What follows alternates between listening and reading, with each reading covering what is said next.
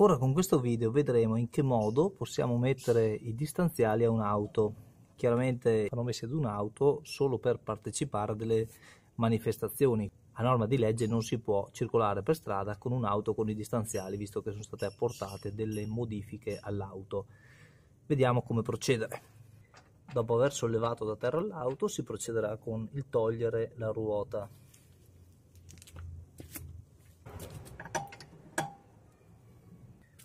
ora andiamo a togliere la ruota.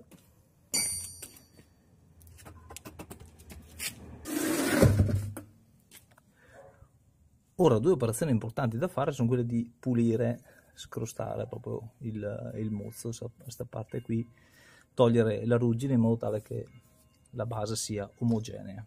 Si può utilizzare uno spazzolo di ferro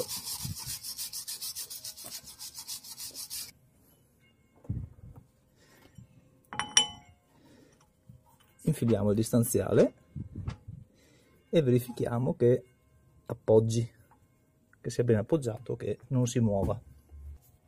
Per fare una verifica che sia ben appoggiato si può utilizzare un pezzo di carta e tirando si sente che il distanziale è in appoggio al cerchio. Ora basta semplicemente rimontare la ruota. Il venditore semidistanziali gli ha fornito dei bulloni più lunghi da essere utilizzati dopo aver montato il distanziale. Tenete da parte chiaramente anche quelli più corti da utilizzare quando smonterete di nuovo il distanziale.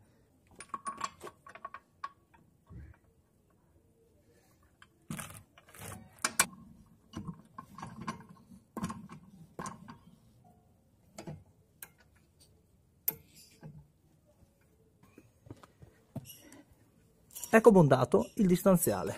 Come si può vedere lo si vede qua così.